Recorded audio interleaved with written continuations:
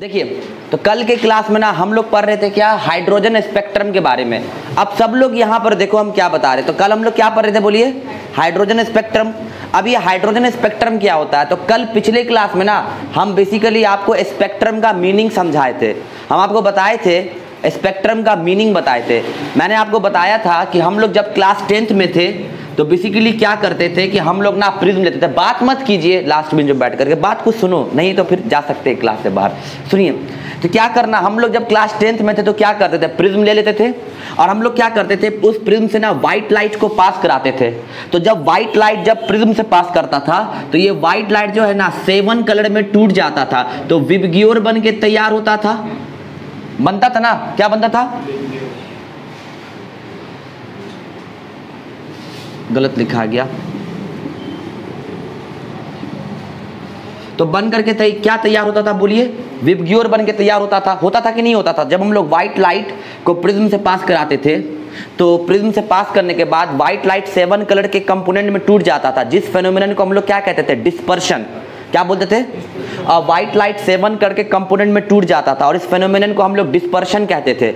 अब ये जो सेवन कलर का जो लाइट ऑप्टेन हुआ है इसको जब हम लोग स्क्रीन पर ऑप्टेन करते थे तो उसको स्पेक्ट्रम बोलते थे। मतलब लाइट स्प्लिट किया सेवन कंपोनेंट में, और उसको जब हम लोग स्क्रीन पे ऑप्टेन किए तो उसको हम लोग क्या बोलते थे? स्पेक्ट्रम मतलब लाइट का टूटना कहलाता था क्या? डिस्पर्शन और उस टूटे हुए लाइट को जब स्क्रीन पे ऑप्टेन करते थे तो उसको कहते थे क्या? स्पेक्ट्रम तो ये था स्पेक्ट्रम किसका? व्हाइट लाइट का। लेकिन हम लोग को एलेवंथ के सिलेबस में क्या पढ़ना है? हाइड्रोजन स्पेक्ट्रम अब एक बात बताओ लाइट एक तरीके का क्या है? इलेक्ट्रोमैग्नेटिक वेव है। लाइट क्या है? लाइट तो एक तरीके का इलेक्ट्रोमैग्नेटिक वेव है ना। तो अब चलो, अब इसी को यहाँ पर इस एक्सपेरिमेंट को जरा मॉडिफाई करते हैं। तो अब देखो हाइड्रोजन स्पेक्ट्रम बना कैसे? जरा इसके बारे में हम लोग देख लेते हैं। एक्चुअली हाइड्रोजन स्पेक्ट्रम का जो कहानी है ना, वो 1900 सेंचुरी से पहले का ही है। और जब रदरफोर्ड का मॉडल आया था तो वो हाइड्रोजन तो वो हाइड्रोजन स्पेक्ट्रम को ना एक्सप्लेन नहीं कर पाया। हम आपको समझाते हैं हाइड्रोजन स्पेक्ट्रम तो लाइट का स्पेक्ट्रम क्या हो गया? समझ में आ गया? वो जो सेवन कलर के लाइट को जो स्क्रीन पर ऑप्टेन करते हैं, उसी को स्पेक्ट्रम कहते हैं। अब देखो हाइड्रोजन स्पेक्ट्रम क्या होगा? तो इसको जरा समझो। क्या करना है? हम लोग को ना एक कंटेनर में या किसी भी एपरेटस में हाइड्रोजन गैस को फिल कर देना है। हम लोग हाइड्रोजन गैस को क्या कर लिए? फिल कर लिए। समझ में आया? और अब क्या करना है? कंटिन्यूसली इस हाइड्रोजन को ना हमको एनर्जी देना है। किसी भी फॉर्म में, किसी भी फॉर्म में। हमको हाइड्रोजन को क्या देना बोलो।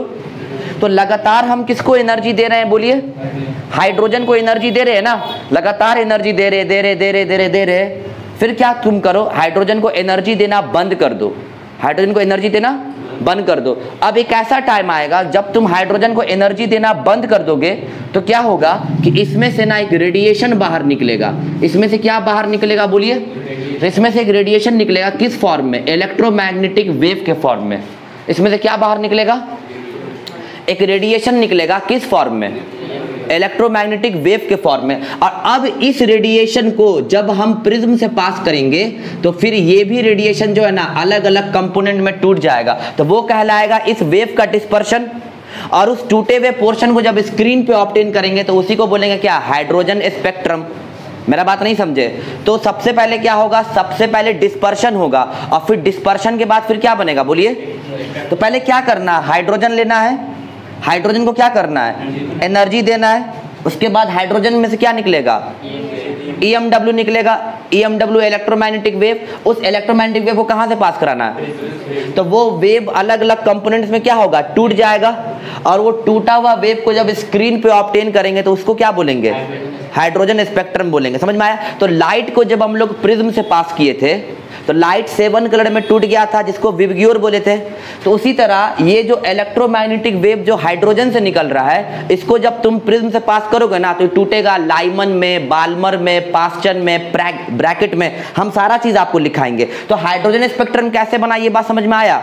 लेकिन हाइड्रोजन स्पेक्ट्रम एक चीज़ बता अब यहाँ पर एक सवाल आता है कि आखिर हाइड्रोजन स्पेक्ट्रम बनता क्यों है? हाइड्रोजन को एनर्जी देने से इसमें से इलेक्ट्रोमैग्नेटिक वेव बाहर आता क्यों है? ये बहुत बड़ा सवाल था। तो एक्चुअली जब रदरफोर्ड का एटॉमिक मॉडल आया था ना तो रदरफोर्ड अपने मॉडल में छोटू, इस बात को एक्सप्लेन नहीं कर पाए थे। तो नील बोर बोले क्या कि देखिए, इसमें से वेव निकलने के पीछे का क्या कारण उन्होंने बहुत आसान तरीका, समझाते हैं। वो बोले क्या पहले तो ये बताओ, हम लोग किसी भी आयरन डॉट को, अगर सपोज़ डैट ये कोई आयरन डॉट है सपोज़ डैट ये क्या है कोई? आयरन डॉट है। और किसी आयरन डॉट को जब हम लोग हीट करते हैं तो पहले वो क्या होता है? रेड होता है। तो हमको एक बात बताओ आयरन डॉट को हीट करने पे वो रेड क्यों होता है? उसमें से रेड कलर की लाइट क्यों निकलती है? तो नील बोर बोले क्या कि देखिए, ये बहुत आसान चीज़ है।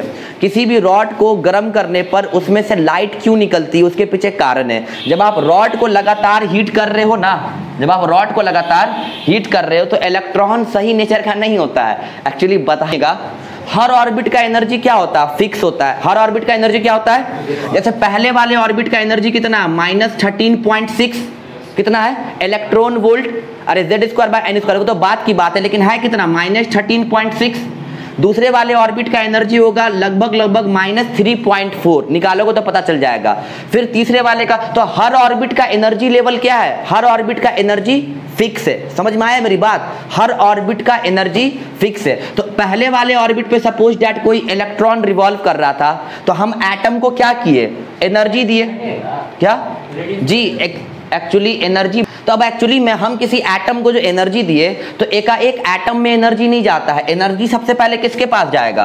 इलेक्ट्रॉन के पास, किसी साहब से कोई काम कराना है तो पैसा डायरेक्ट साहब के पास नहीं जाएगा। वो घूस का पैसा पहले किसके पास जाएगा? उसके कलर के पास। समझ रहे हो मेरी बात? तो सबसे पहले एनर्जी किसके पास जाता है? बोलिए। इलेक्ट्रॉन के पास। तो अब इलेक्ट्रॉन के पास जैसे एनर्जी जाता है ना तो इलेक्ट्रॉन इस चीज़ को बर्दाश्त नहीं कर पाता कि मेरे पास इतना एनर्जी आया। तो अब इलेक्ट्रॉन क्या करता है? ग्राउंड स्टेट से कहाँ चला जाता है? बोलिए। एक्साइटेड स्टेट में। एक्साइटेड स्टेट किसको कहते हैं? मतलब एक अपने ऊपर वाले ऑर्बिट पर चला जाता है। समझ में आया ना मेरी बात? तो अब ये इलेक्ट्रॉन यहाँ पर नहीं रहेगा। ये कहाँ चला जाएगा? बोलिए।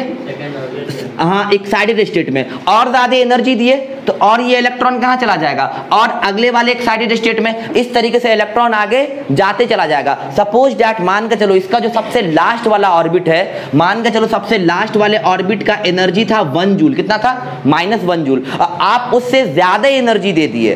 तो अब ये जो इलेक्ट्रॉन है ना, अब ये इलेक्ट्रॉन क्या करेगा? अपने एटम को ही छोड़ छाड़ के भाग जाएगा। किसी आदमी को तुम इतना पैसा दे दिए जो उसके सैलरी से भी ज़्यादा था तो अपना नौकरी छोड़ के क्या होगा? वो भाग जाएगा पैसा लेके। ऐसा कुछ होता है किसके साथ? इलेक्ट्रॉन के साथ। तो नील बोर बोले क्या कि देखिए बात मत कीजिए।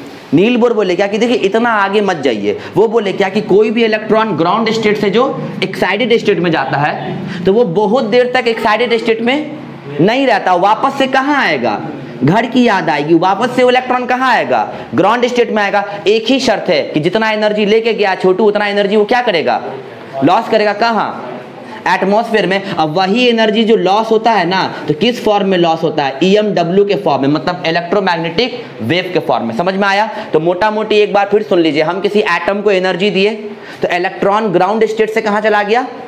एक्साइटेड स्टेट में।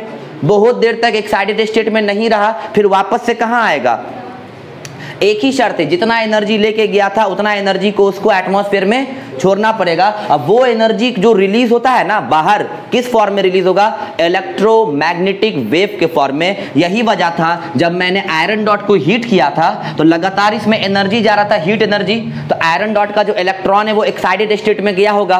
फिर वापस से इलेक्ट्रॉन एक्साइटेड स्टेट से कहाँ आया होगा? ग्राउंड स्टेट पे। लेकिन एक ही शर्त पे अपना बाकी का एनर्जी क्या किया होगा? एटमोस्फेयर में लॉस किया होगा। अब वही लॉस किया हुआ एनर्जी किस फॉर्म में निकला? ईएमडब्ल्यू के फॉर्म में?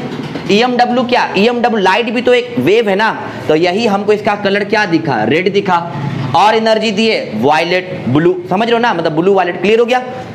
तो इस चीज़ को ऐसा कॉन्सेप्ट कौन बताया? नील बोर बताया रदरफोर्ड ना इस चीज़ को नहीं बता पाए थे। तो हाइड्रोजन स्पेक्ट्रम में भी कुछ ऐसा ही है। हम हाइड्रोजन को जो एनर्जी देते हैं, बात मत कीजिए। हम हाइड्रोजन को जो एनर्जी देते हैं तो हाइड्रोजन का इलेक्ट्रॉन कहाँ चला गया? एक्साइटेड स्टेट में?